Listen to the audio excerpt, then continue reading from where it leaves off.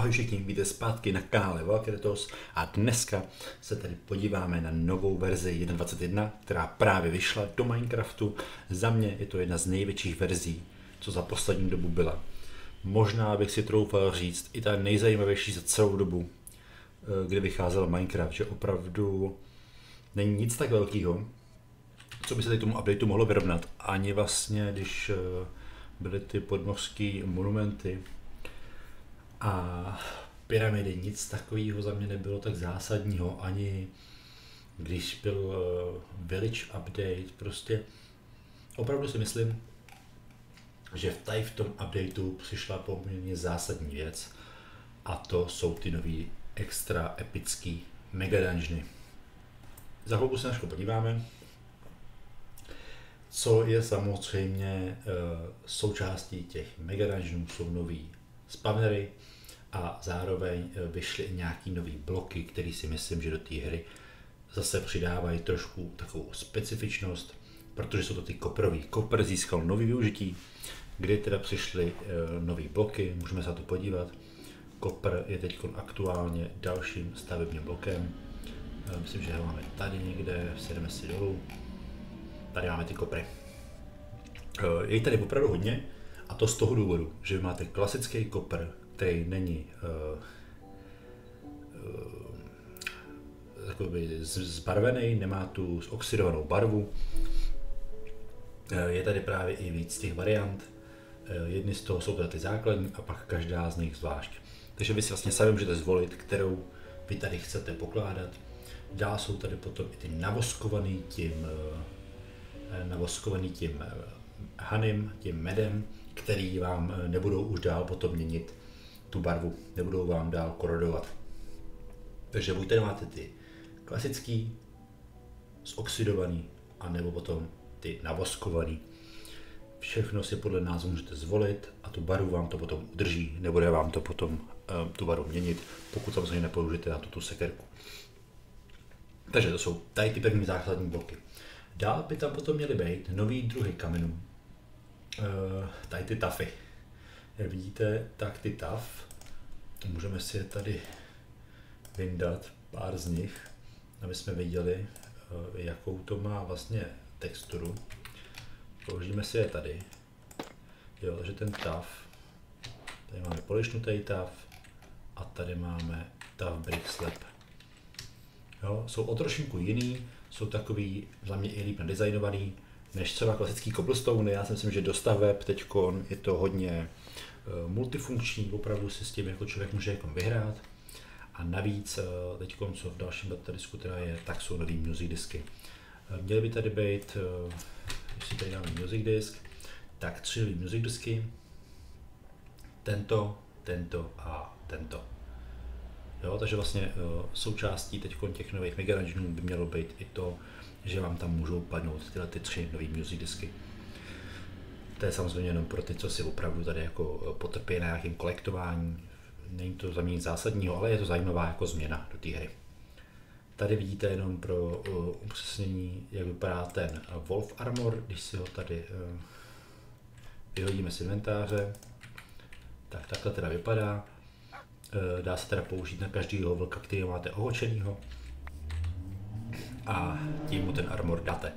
Dál taky teda kromě těch klasických vlků, které vidíte tam vzadu, tak přibyly i nový druhy těch uh, jiných vlků. Každýho toho vlka můžete najít nějakým eh, daným biomu.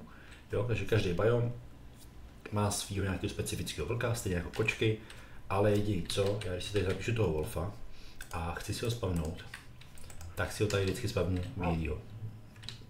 Jo, pokud si to samozřejmě nespavnu přes nějaký ten uh, komand, a tady vidíte, že já spavnu jenom ty bílé vlky, je to možná i tím, v jakým jsem biomu, ale já si nemyslím, že když budu v biomu, že se mi tam ty věci budou spavnout pro toho biomu.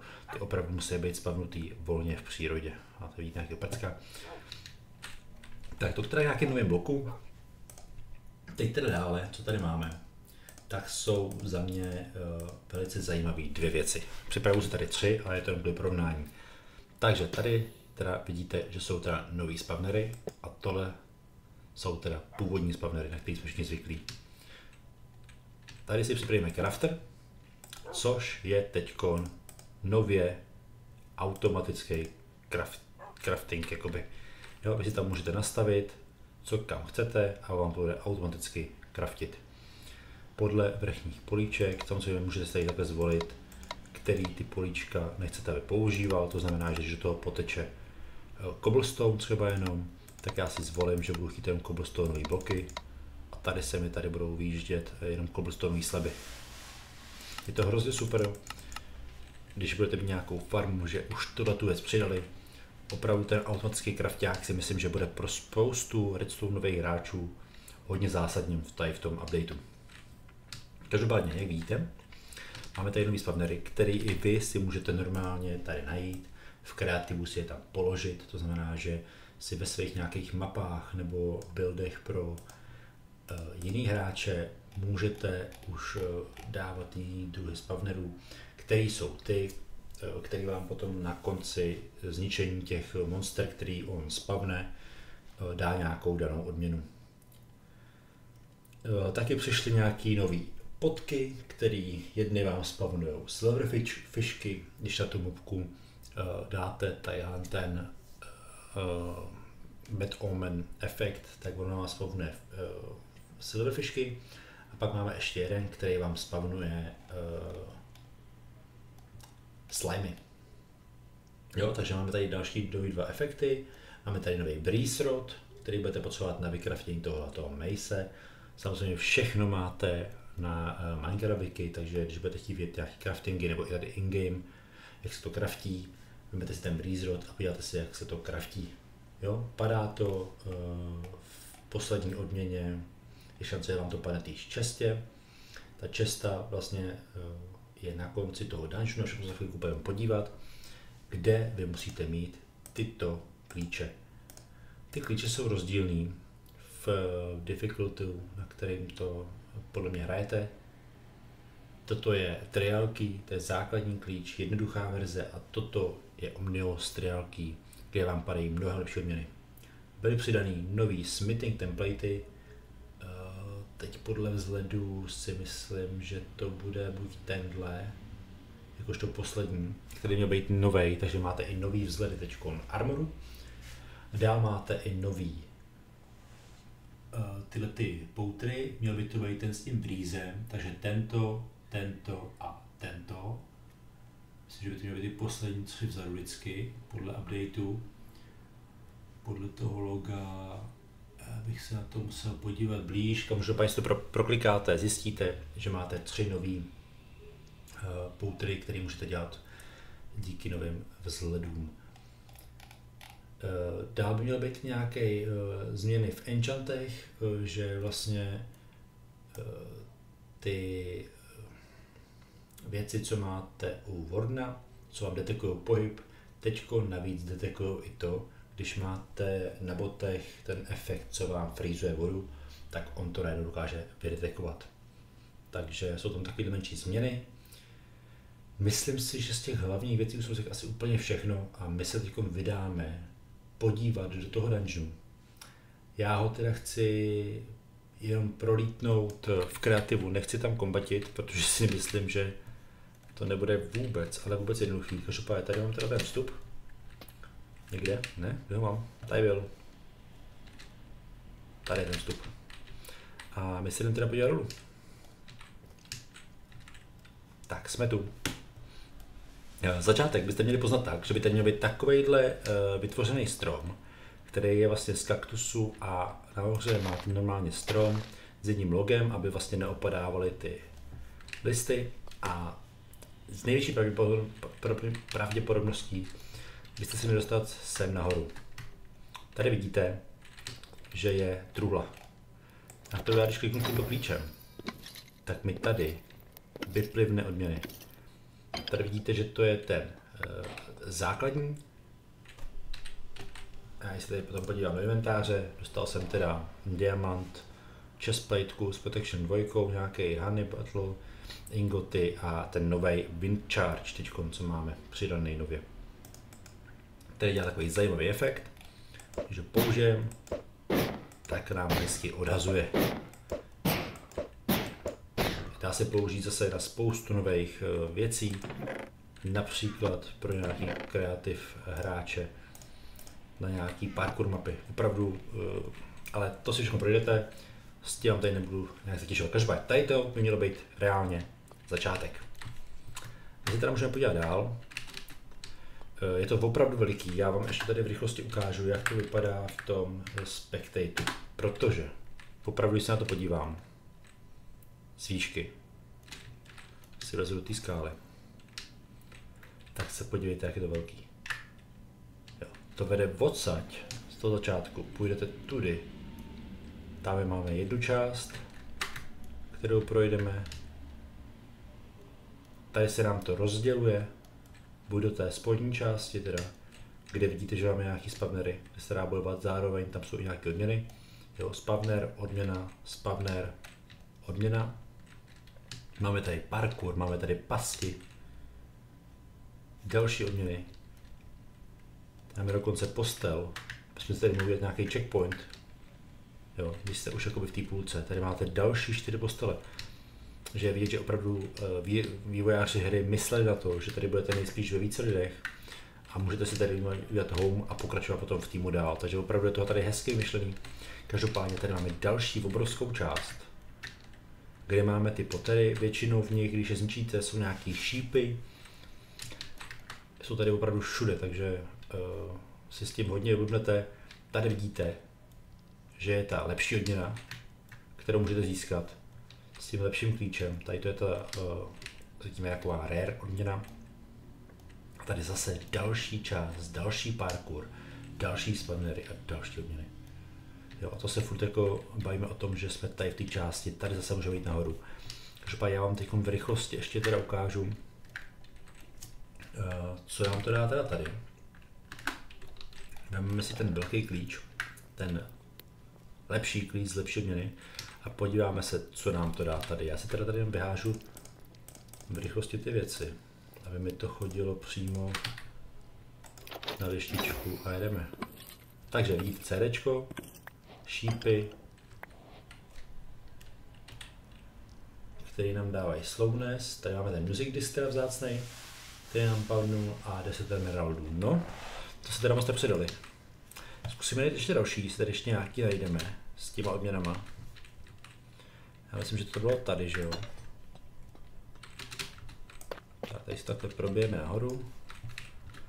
Tady jsem neviděl další odměnu, to je která? To je ta základní odměna. Tak si jdeme ten základní klíč. Podíváme se, co nám to zase vyhodí.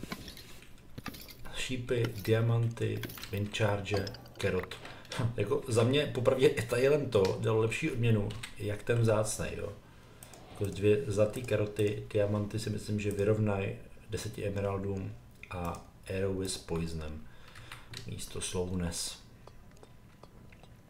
Jenomže další, těch čestů je opravdu hodně, Oni se vám potom časem zase zpátky doplnějí, jo? takže vy vlastně to teď splníte, dostanete teď odměnu. A proto doporučuji, neničte to, protože časem, až se to zase do, dobije, doplní stejně ten spawner, ten taky. A když vy vymlátíte vlastně ty monstra, které tam jsou, tady aktuálně vidíte ty skeletony, tak ono se to potom zase doplní. Tady máme toho nového uh, moba, toho si za chvilku spadneme, až se tady taky podíváte. A tady máme zase obyčejný, se podíváme, co z toho bude. To je opravdu jich mraky. Jo? Nový lektvar, vidíte, že to všechno jako padá, není potřeba vůbec se nějak rozčilovat, anebo doufat, že to padne za nějakou hrozně dlouhou dobu. Windcharge, všechno, co je potřeba, tak opravdu padá v těchto těch nových dungeonech. Tady. Lingering. Weakness to dává, jo. Tyhle, tady opravdu to je hodně jako precizní. Je teda takhle weakness. Takže tady máme ještě něco zajímavého. Tady parkour. Tady teda už máme vybrané odměny. Mm-hmm. A tady nějaká truhla no, vidíte vůbec nic. Dobrý, nebudeme to zdržovat, tady zase pavouci. Když se probijeme, tady zase nějaký efekty, tady jsou snowbally dokonce. Proč jsou tady snowbally, teda netuším. možná jenom for fun. Tady něco cvaká, tady něco cvaká, každopádně. Dáme si ty na chvilku survival. Ať se nám to tady spavne.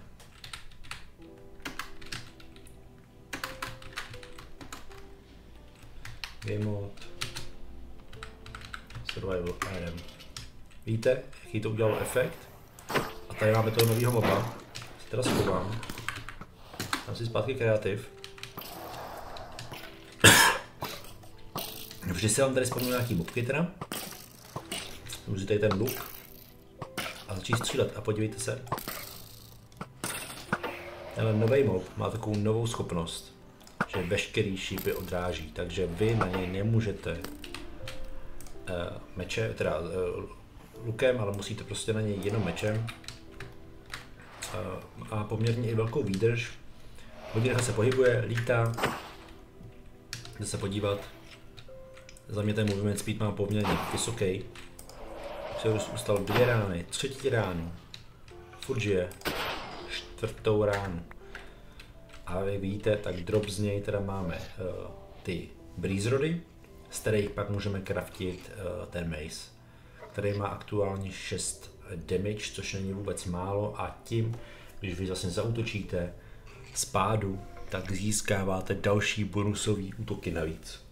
Za každý bloky Eh, který vyletíte s tou zbraní v ruce, tak s tím větší vejšky vy udeříte, tím víc on dá. Takže to je vlastně aktuálně nejsilnější zbraň z Minecraftu.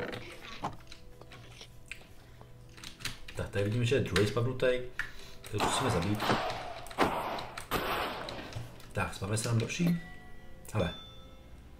Tak, zabili jsme teda dva a odměna z toho spadneru byl teda chleba. Já si myslím, že vás to nejvíc tady bude bavit a lákat chodit eh, ve skupinách, protože nejen, že to bude těžký, ale zároveň navíc eh, to bude taková výzva pro všechny. Protože když sem půjdete ve full netheriteu, nebude to asi taky uh, těžký, jako když se v nějakém ironu, ale rozhodně si to tady užijete. Vy víte, padl mám tady nějaký lektvar, Hmm, potíkov Swiftness, nemyslím si, že to je špatného, Swiftness se vždycky hodí, že jo. E, jinak teda Breeze, když se utočí, e, jestli podíváme, máme ty Breeze charge, máme Breeze charge, tak Breeze tím chargem otevírá a zavírá veškerý měděný nebo železný dveře vidíte, že on vám tady může tím svým útokem poměrně zavařit. Může vás dostat do takovéhle situace, kdy on to na vás hodí a nemůžete se pak třeba eventuálně nějak dostat vedem, můžete propadnout. Takže to si musíte taky dát pozor. Opravdu tento update si myslím, že je nejvíc zajímavý za poslední dobu. Eh, časem zjistíte sami, musím teda říct, jenom byste si nemysleli, že je to nějak jako extrémně vysoko, takže tyhle ty dungeony, tyhle ty mega dungeony jsou poměrně, ale poměrně hluboko. Jo? Nejsou úplně uh, ve vysokých, uh, vysokých oblastech, musíte se s ním prostě prokopávat a zároveň v nich máte tady ty krásné nový designové bloky, které se určitě budou hodit na vaše stavby. Jo? Jak tyhle ty kameny, tak tadyhle ty, který pak můžete jenom v katru dělat, bloky, briky a tam měď. Za mě to je asi všechno. Já doufám, že se vám eh, tenhle ten nový Minecraft update líbil. Pojďte si zahrát, protože dlouho zase žádný update nebude. Přece jenom Mojang si vždycky dává eh, trošku na čas vytvářením nových updateů. Eh, máme tady taky novýho moba, ale na to si přijete taky sami. Je to nový skeleton, co vám dává poison. Taky ho můžete objevit tady ale všechno na to si už musíte přijít sami. Tak jo, mějte se pěkně a zase u nějakých dalších videí. Čau, čau.